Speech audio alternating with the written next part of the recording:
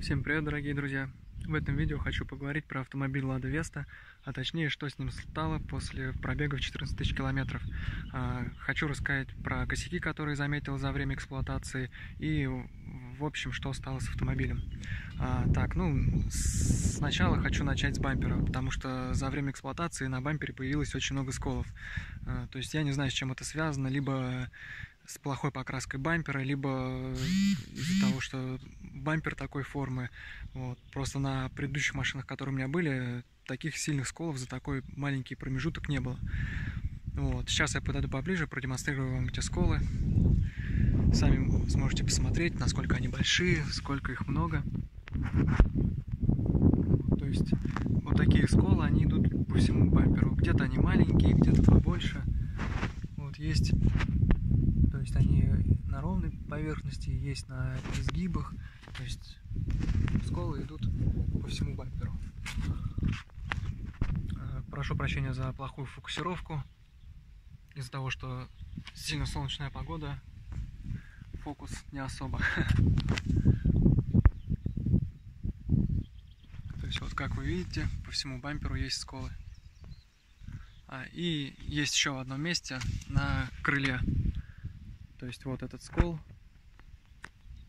тоже меня очень, так сказать, сильно расстроил, потому что на бампере еще, ладно, более-менее там, ну, бампер как бы сам пластиковый, то есть от этого ничего не будет пластику, а вот с крылом уже проблемы посерьезнее, потому что если чем-нибудь не обработать, либо не перекрасить крыло, то со временем, конечно, начнет сильно ржаветь. А, так, что еще могу рассказать по таким тоже вот мелочам, минусам, так сказать, которые мне не понравились. А, на пробеге примерно в 6000 километров начали скрипеть двери, точнее петли. Сейчас я вам продемонстрирую этот звук. Если камера сможет записать, то поймете, что как они скрипят.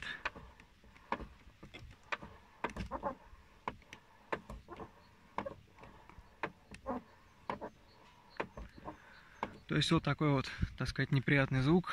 Пока до конца не разобрался, откуда именно этот звук исходит. Либо это петли, либо это вот этот фиксатор дверей, потому что он пластиковый, и, возможно, пластик о пластик трется. Вот, пробовал пробрызгать силиконовой смазкой, но положительного результата я не увидел.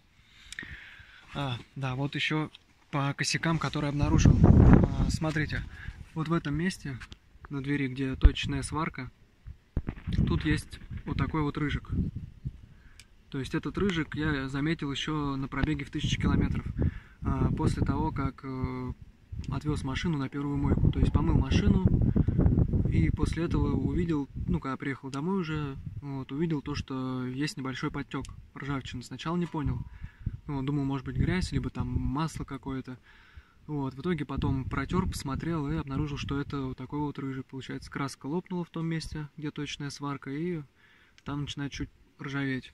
А, такая же ситуация есть и в моторном отсеке. А, там тоже есть в нескольких местах ржавчина, тоже появилась там буквально на двух-трех тысячах километров пробега. Тоже такой неприятный момент, потому что пока не знаю, как что с этим лучше сделать либо просто подкрасить. Можно, в принципе, какое-нибудь антикоррозийное средство попробовать. Сейчас а, открою капот и попробую показать вам эти места.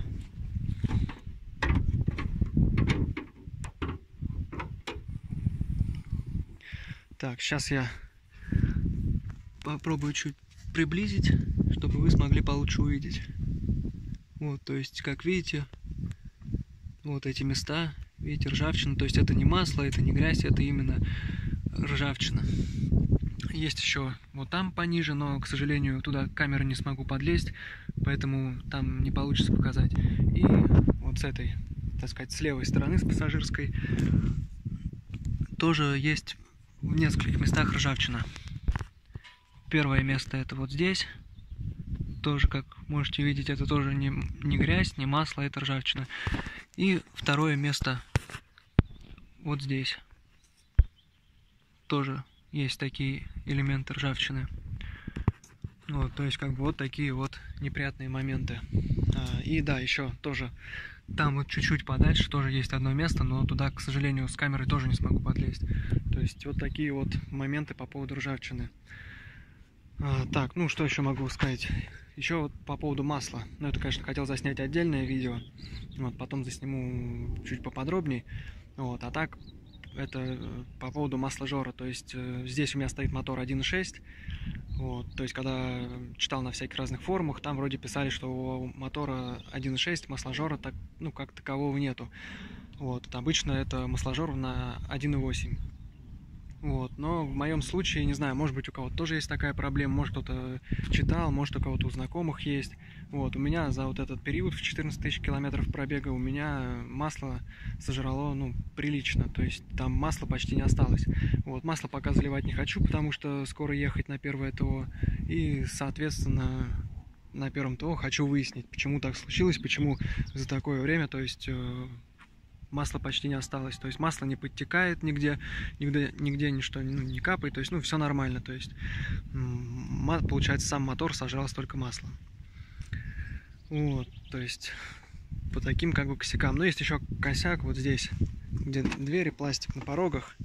А, вот этот пластик мне тоже не особо понравился тем, то, что здесь э, очень сильно видны царапины. То есть, если здесь будет пыль, песок, то будут сильно видны царапины.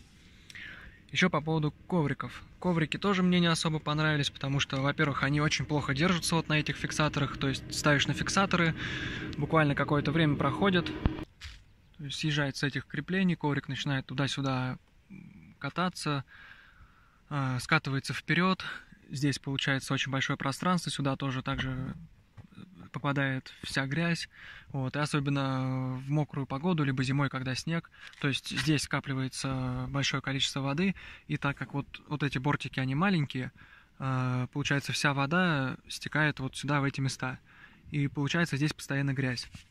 То есть, э, вот я, грубо говоря, пылесосил машину там недели две назад, вот у нас были дожди, и то есть вот за это время, пока были дожди, опять вот столько грязи набралось. То есть это тоже такой момент, который мне тоже как не особо нравится. Вот. Ну а по поводу вот скрипа дверей, то есть э, двери скрипят со всех четырех сторон, как я уже говорил, пробовал промазывать их силиконовой смазкой, ну, спрей такой пробрызгивал. Вот. Ну, пока как бы результатов таких, ну, никаких, короче, результатов от этого нету. То есть как двери скрипели, так они скрипят. Вот тоже хочу поехать на ТО, узнать, почему такая проблема, что с этим можно сделать, может какую-то другую смазку попробовать использовать. Вот. Ну а так, в принципе, как бы сама машина неплохая. Ну, конечно, есть, да, свои косяки, но это во всех машинах есть свои косяки. Вот. Так что, в принципе, вот за время эксплуатации выявил вот такие вот недостатки, косяки. Вот. Ну вот по поводу масла сниму попозже отдельное видео до того, как поеду на ТО, потому что ну, после ТО смысла не будет, потому что хочу показать, сколько масла осталось. Вот, то есть, ну, какого цвета масло стало за это время. Ну, в принципе, вы, наверное, и так знаете, что за такой пробег, как бы масло уже темного цвета. Вот, и потом хочу заснять еще видео, либо после ТО, либо во время ТО, там, ну, как проходит замена. Ну, вот, если, конечно, разрешат снять, то сниму видео. Если нет, то после ТО сниму. Вот, да, еще такой момент, ну, наверное, скорее всего, из-за масла, то, что масла осталось мало, то есть машина уже как-то едет не так, то есть уже чувствуется, что тяжело скорость набирает при разгоне. Если включаешь кондиционер, то вообще она практически, можно сказать, не едет. Вот. Ну, по поводу кондиционера тоже потом могу заснять отдельное видео. Тоже там есть, так сказать, свои плюсы и минусы. В принципе, кондиционер не особо мощный, то есть, ну, такой средний, в сильно жаркую погоду. Если стоять, конечно, на одном месте, то кондиционер, ну, так не особо работает. Ну, я думаю, это во многих автомобилях. Вот, если, конечно, по трассе едешь, то кондиционер, в принципе, работает нормально. А, так, ну, в принципе, это пока что все, что хотел рассказать про этот автомобиль с его пробегом. Вот, в дальнейшем буду записывать еще другие видео. Если у вас есть какие-то пожелания, либо предложения, можете писать в комментариях. Засниму отдельную тему про те видео, например, которые вы хотите увидеть. Вот, а так, всем спасибо за просмотр. Ждите следующих видео. Всем пока.